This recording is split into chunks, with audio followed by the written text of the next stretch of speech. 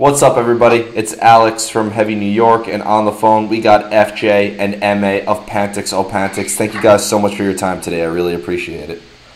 Uh, sure. Um, so the newest album is Skamhan, which is scheduled to come out April 24th. One thing I was uh, curious about actually is did that self-titled EP that you released at the end of last year almost serve as kind of like a preview or like a quick like uh, indication of what this whole album is going to sound like? Yeah, well, I, I think that that we on the new album we've kind of like uh, develop the sound. But but yeah, you would as if you listen to the new album, you would uh, certainly hear things from from the EP. Definitely. Okay. Um, I noticed that the new single that you released, "A Skartander," was inspired by like a poem, which I think is very very interesting. Did like the story of the poem also influence the music as much as it could have influenced the lyrics? Well, it's kind of like um, uh, what we go for is is something to complement the lyrics, really. Mm-hmm. So do you? Feel, um, oh. Yeah, yeah. Go ahead. Oh, so do you feel that maybe like even if the music was like instrumental, it could almost also tell the story as well? I should think so. Yeah. Yeah, definitely. We try to.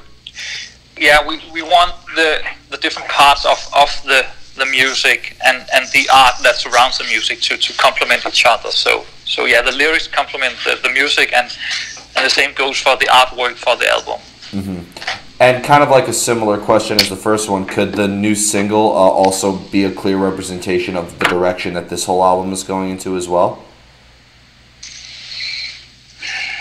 Mm, no, not necessarily, because when when we make music, we try to express emotions uh, and feelings. So, so for, for, for the new single, it has a raw and, and maybe primitive expression, whereas other tracks on the album are more complex.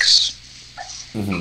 Does that emotion come out of nowhere sometimes, or do you guys have to kind of like put yourself in like a certain element in order for a certain emotion or a certain feeling to come through fruition? Uh, I'd say most. I'd say um, if, if, I have to, if I have to, um, if I have to like guess at, at the lyrics, I would say I would say that they come they come from a very um, a very specific mindset.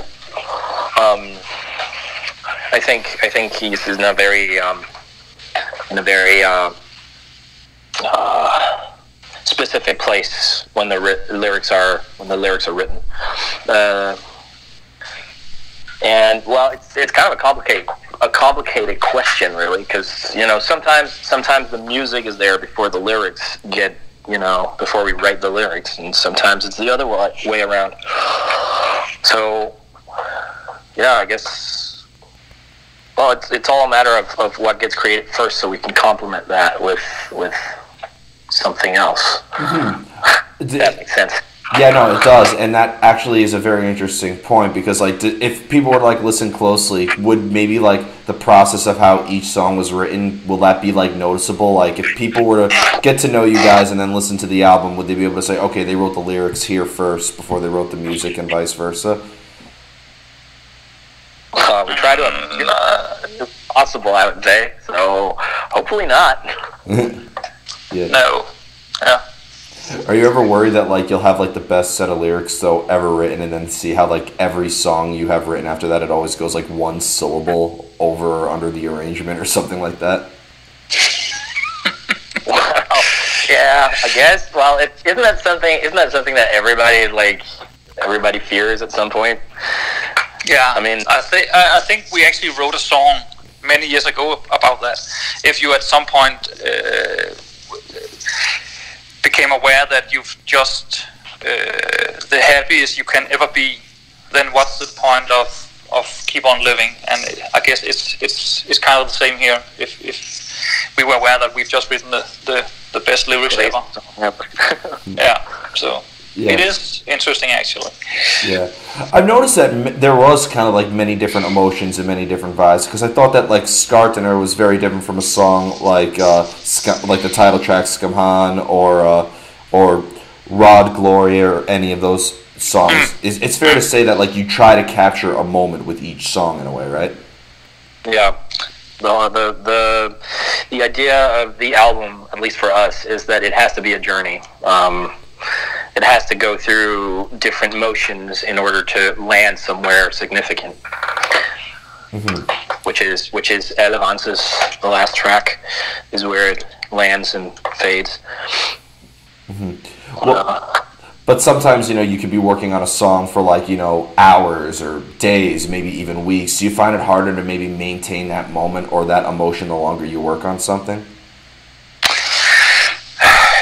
I think that that it, it, it's a process when working on, on the tracks, and, and, and to start off with, we, we might have some ideas about how, how this is, is, is going to be, but but at some point, the the track starts to, to take control and kind of like guides us as to where it, it, it wants to to to be. Um, um, and I, th- I think it's kind of the same that when a sculpture.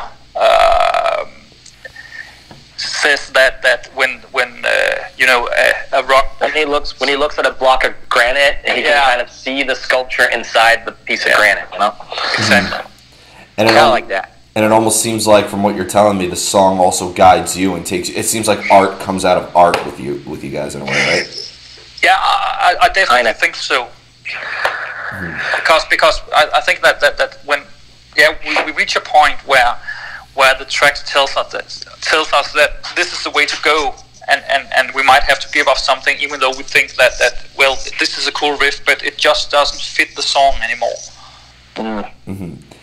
Now, you know, not to pigeonhole you guys by any means, but you know, when, when you like look up, you know, what Pantix O Pantix, you know, their sound is, you know, people like to refer you as progressive black metal or black metal, you know, a bunch of subgenres on the periodic table, if you will. But uh, like, do you, do you feel in order to express the meaning and concept of your art, why do you feel like this is the best style of music to play in order to support like your uh, subject matter that's addressed? Well, like my friend says, we it kind of just takes hold. You know, it it, it um, we play music that we think sounds good and complements the text or complements the mood that we're trying to go for, and that's just what happens. You know, that's just what we put out there. We don't we don't think in, in terms of genres or anything else. We just you know we make something that sounds that sounds right to us at least. Now, uh, is the music also open to interpretation? Because, like, I really found it so unique, and I didn't even realize it until right after I reviewed your album that, like, the song titles were the exact song lengths of the uh, on the EP on the last EP. Like, is the music also like, and, and, and it, it really like I thought they were like years of like a tragedy or something like that. Uh, but um, is the music also open to interpretation in a way, or do you try to maybe inform the listener on the subject matter that's being addressed in your band? we try to create well with the music we try to create a certain mood that fits the lyrics and i mean yeah it's kind of open to interpretation of course it is all all music i would say is but it's still we still still try to guide kind of guide the listener to to a certain point um if that makes sense at all No, definitely, definitely. I feel like the music, especially for this album, like acts as a guide. And if you are gonna, I feel like if you are making an album with a concept that you want listeners to be engaged in, the music should like act as a guide to bring them into the story. well it's not much of a swa yeah kind of no, that's, that's, that's a good analogy right there so yeah Yes. Now, one thing I was really curious about is is you know going by like these um, abbreviated names with FJ and JU and MA, MC, JJ. Are you guys in a way like portraying in a way like a character on stage or on the albums, or is this like really just an identity that's a direct extension of who you personally are? Well, none of those really. We we try to distance ourselves from the music. We don't put on characters or anything. We just go up on stage and play the music. Um, the the idea behind all this is like like I said is to distance ourselves from the music itself, so people kind of let go of all you know our names, our persons, like everything, and just concentrate on the music itself. But that's uh, you really just said something that really like made me like interested because you say you try to like in a way detach yourself from the music as much as possible but like you know i'd imagine when you're creating something you have to feel some sort of attachment to it in order to be satisfied with it no Yeah, but we, we yeah, but, but we, we try to detach ourselves from as, as persons from from the music. We don't want to, you know, um, stand in front of the music. Uh, we we want the music to be in front of us. So Oh, we're just the, the tools that, that create the music. yeah Yeah. so you create it but then once it's created it becomes you almost become like the music's humble servant in a way Yeah, you could say that. Yeah. yeah very interesting We are you, too ready for the mo- music. You ready for the most difficult question of the interview? I, I love. I, I ask everybody this because it always stumbles them. But you guys have been pretty good so far, so maybe you'll get. I'll get some good answers for once. How do you know when a song is done? Yeah, yeah, yeah. I, I think that that a song is never done. If if if you if if we didn't have to finish a song, I think we would keep on working on it. Well, But but at some point you have to draw the line and say, okay, this is what we're going to to uh, yeah. to put down on a record. Yeah, we don't finish tracks. We just stop working on them and then record them. yeah, we have a, we have a track on the new album which uh, some of us has been playing for 20 years. Wow. I mean, Uh, that I, I and guess it, it's been it, it's been iterated like a million times. Um, so so yeah, it's it's kind of like a circle that is complete now that it's on a record. hmm Wow, that's uh, that was a little anticlimactic, I must say. Um, um, another question I really have for you is being that you kind of like you know you detach yourself from the music and anything, but is there anything in the entirety of Pantix O Pantix, whether it's on this album or the EP, where that maybe there is some investment of your personal lives into the album as well? I think there's a lot there's a lot of investment of our personal lives because the the, There's the time, and- there's- yeah, yeah, yeah there's because the feelings that we put into it. The the because at some point at some point we've had these we've had these emotions and we're trying to kind of work them into music and of course that's that's a personal thing. Mm-hmm. So and of course there's all the time and all the the effort and all you know all that shit. You know yeah Yeah, Yeah. I, I heard a quote one time saying that every piece of art is a self-portrait in a way, one way or another. So yeah and, and and this is also because it's based on our experiences in life basically um, yeah we just want the music to tell the story and and, and not us and that's why we detach try to detach ourselves from the music yeah. Yeah, it's almost kind of like some people are so hell bent on expressing the meaning that they almost become preachy about it, right? Yeah, exactly. And uh, the final question I wanted to ask you is um, when it comes to playing this material live, is there a similar energy that you channel into playing live as you do when you are in songwriting mode, or is it a completely separate art altogether with crowd interaction and choreography and everything like that? There's none of those things.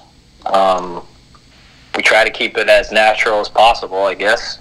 We just go up on stage and play the tracks, really. So, I mean, all we do is dim the lights a bit and then fill the fill the the room with smoke. That's basically it. All right, that that sounds more simple than ninety five percent of any stage setup. I used to work in a stage like production, so that would be a breath of fresh air if I was working your show. Well, you'd be you'd be surprised at how many how many light light guys that actually get this wrong. You know, they just put on the fucking strobes and like multicolored lights and all that shit. They just put that on. if, you know, despite us telling them that that's we want the exact opposite, right? so You know the ba- you know the band Sun that's spelled like Sun O or heard of them? yeah yeah, I saw them play at like a, a 200 cap club one time after they just sold out an entire like 1500 cap arena or whatever. Uh, they did like a special intimate club, but their fog machines are enough to fill up a stadium. And and they they they use that inside the club. I'm not even kidding. I couldn't even like I couldn't even get to the bar. Like I had to wave my hands. Holy shit! Like people were trying to find their way out with flashlights. You couldn't even see the light with the flashlight. it's just insane. Yeah. It was a, it was an amazing show, but like the fans were having a Spinal Tap moment where they couldn't find the stage. Yeah. So Oh, that's Get great. those big industrial things then. I, I want to try that. Yeah. oh, like street sex or something like that. No, no, no, no, no, no, no. I just want to fill like everything with smoke. They don't want to. If they don't see the stage, it's fine by me. Fair I enough. can, just be walking around, I can just be walking around, you know, between people and just singing. They wouldn't Yeah. notice. That- That'd be great. That's a good excuse to like if nobody shows up to a show. That's kind of like a good way to like like if the promoter goes, "Why did nobody show up?" I was like, "Well, this is our production, and nobody could find the stage." Like maybe No, that would be great. yeah. But could your stage aesthetic is that like is this like a vision that came in through like the writing of music, or was this something you've always wanted to do, whether you were playing black metal or whatever style? Like, is do you think like that your stage presence adds more uh, context to the actual music? The Best way to ask. Well, it's still a it's, it's still a way to distance ourselves from the music. The you know with dimming the lights and all that. Also, we have also we have some um, uh, we have some visuals on stage when we when we perform to to again take away take away the uh, take attention away from us and then you know just to to to make the experience more full. So we had a we had an artist create some some visuals for us. Um, that that complements the music and you know makes it a makes it a, an experience instead of instead of you know you know five people on stage doing stuff you know That definitely, definitely. Um, so before we go, I want to thank you so much for your time today. Really appreciate it. Um, is there just the new album's coming out April twenty fourth? Is there anything you know? Obviously, it's a fairly uncertain time right now, but uh, is there just anything you would like to promote uh, for Pantix O Pantix? Whether it is shows that aren't at the risk of getting canceled or uh, anything else? Yeah, well, I guess everything is cancelled basically. So, uh, so, so we just just urge people to listen to our music, uh, buy the album, um, yeah, and, and, and hopefully stay safe until this thing is over. And and then Yeah. we look forward to getting out on the stages and, and, and playing our music. Yeah. Um, hopefully also in the US. Yeah. oh yeah that'd be nice Yeah. Can we be expecting you to come to the United States? Hopefully, yeah. When when yeah, hopefully. Uh, but but yeah, these these are uncertain times. So uh, right now we just focus on on yeah staying safe and uh, yeah Awesome. And that's best best to worry about that at the moment. yeah yeah. exactly. Yeah. So thank you guys so much, everybody. We are here with FJ and MA of Pantix O Pantix. Be sure to pick up the new album Skamhan out on Napalm Records April 24th. Buy it then when supplies last forever. We'll see you next time on Heavy New York.